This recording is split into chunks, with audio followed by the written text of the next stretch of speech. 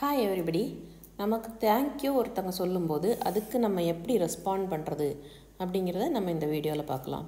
You are welcome oh welcome அப்படின்னா um, நான் உங்களுக்கு இன்னும் ஹெல்ப் பண்ணுறதுக்கு ரெடியாக இருக்கேன்.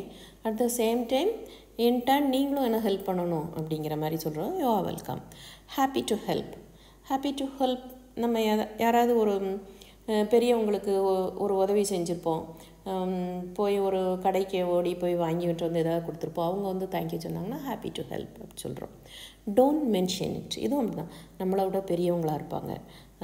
அப்போது அவங்க நமக்கு தேங்க்யூ சொல்லும்போது நம்ம வந்து ஹெசிடேட் பண்ணுவோம். நமக்கு ஐயோ இது நீங்கள் எல்லாம் தேங்க் பண்ண வேண்டாம் இதுக்கெல்லாம் நீங்கள் நன்றி சொல்லணுமா? அப்படின்னு நம்ம சொல் நினைப்போம் இல்லையா? அப்போ வந்து டோன்ட் மென்ஷன் இட் அப்படின்னு சொல்லணும். அதான் இதில் வந்து நோ மென்ஷன் நம்ம சொல்கிறோம் இல்லையா? அது வந்து தப்பு அப்படி சொல்லக்கூடாது. டோன்ட் மென்ஷன் இட் அப்படி தான் சொல்லணும். அடுத்து இட்ஸ் மை ப்ளஷர் ஒருத்தவங்களுக்கு ஒரு ஹெல்ப் பண்ணுறோம் அப்படிங்கும்போது அது அது வந்து எனக்கு சந்தோஷத்தை கொடுக்கக்கூடியது அப்படின்னு சொல்கிறோம் அப்புறம் இன்னும் தேங்க்யூ சொல்லும்போது நோ ப்ராப்ளம் இன்னும் என்ன அர்த்தம்? நீங்கள் இதுக்கு இதுக்கெல்லாம் தேங்க்ஸ் சொல்ல வேண்டிய அவசியமே இல்லை. எனக்கு வந்து ரொம்ப கஷ்டமும் இல்லை.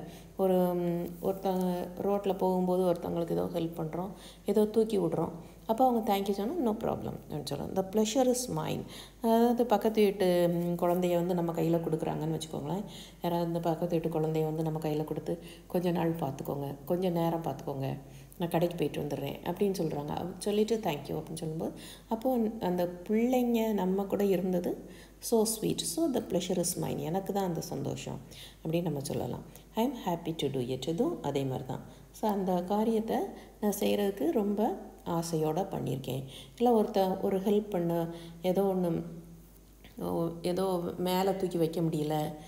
அப்போ நம்மளை வந்து கொஞ்சம் ஹெல்ப் பண்ண சொல்கிறாங்க அப்போ நம்ம அவங்க போய் ஹெல்ப் பண்ணுறோம் அப்போ அவங்க தேங்க்யூ சொன்னாங்கன்னா I am happy to do it எனக்கு இது செய்கிறதுல விருப்பம் தான் அப்படின்னு நம்ம சொல்கிறோம் ஸோ இந்த மாதிரி நம்ம தேங்க்யூ தேங்க்யூக்கு இந்த மாதிரி ஒரு ரெஸ்பாண்ட் பண்ணோன்னா அது ரொம்பவே அழகாக இருக்கும். ஓகே லைக் பண்ணியிருந்தீங்கன்னா லைக் ஷேர் பண்ணுங்கள் சப்ஸ்கிரைப் பண்ணுங்கள் தேங்க்யூ